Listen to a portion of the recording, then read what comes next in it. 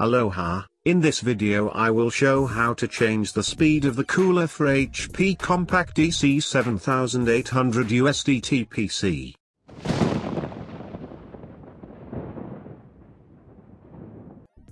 A viewer asked me how to change the speed of the cooler for HP Compaq DC 7800 USDT, so I made this video at his request. The speed of the cooler for HP Compaq DC 7800 USDT you can set from BIOS. Step 1, press the power button and press the F10 key repeatedly to enter in the BIOS. Step 2, select your language.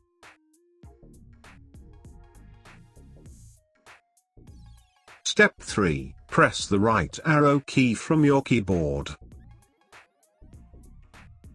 Step 4, press the right arrow key from your keyboard again.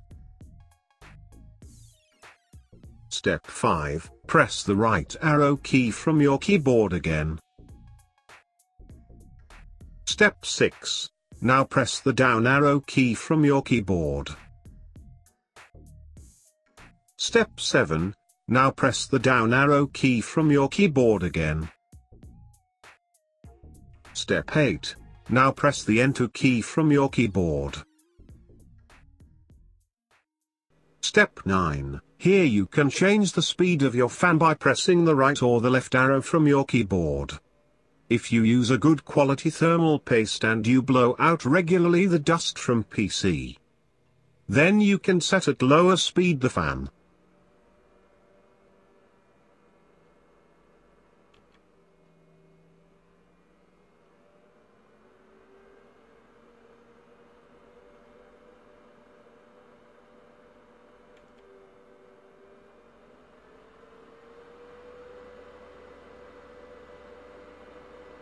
If you set to run at maximum speed the fan, then the PC will be very noisy.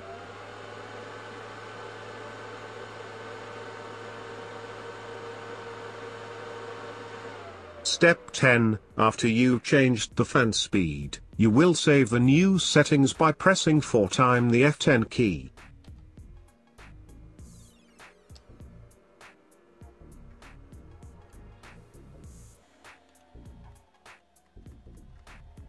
Step 11, I will enter again in the BIOS to see if my settings were saved or not. And my changed settings were saved. Now I will set at minimum speed, because I like to run quietly.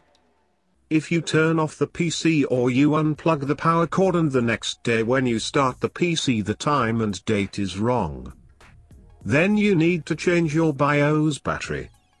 In my next video I will upgrade the CPU to the most powerful CPU that supports this motherboard. Thanks for watching, don't forget to share, comment, like, and subscribe. See you next time, goodbye.